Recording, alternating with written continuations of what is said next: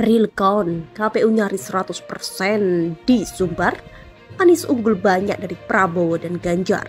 Dilansir dari suara.com, Komisi Pemilihan Umum KPU masih terus melakukan pembaruan suara pasca pemilihan presiden atau Pilpres 2024. Hingga saat ini, real count KPU untuk Pilpres 2024 di Sumatera Barat atau Sumbar mencapai 91,828 persen. Hasil sementara menunjukkan perolehan suara terbanyak berada pada pasangan Anies Baswedan Muhaimin Iskandar, di mana pasangan Amin mendulang suara sebanyak 1.553.170, 56,51 persen.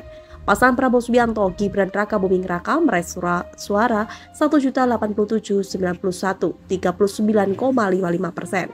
Sementara pasangan Ganjar Pranowo dan Mahfud MD meraih suara 108.76, 3,93 persen dilihat dari situs pemilu 2024.kpu.go.id Sabtu 2 Maret 2024 jumlah suara yang masuk 16.037 dari 17.569 TPS di wilayah Sumatera Barat. Diketahui hasil yang ditampilkan KPU bukan hasil akhir pemilu 2024. KPU menyebut publikasi from model C atau D hasil adalah perhitungan suara di TPS dengan tujuan memudahkan akses informasi publik.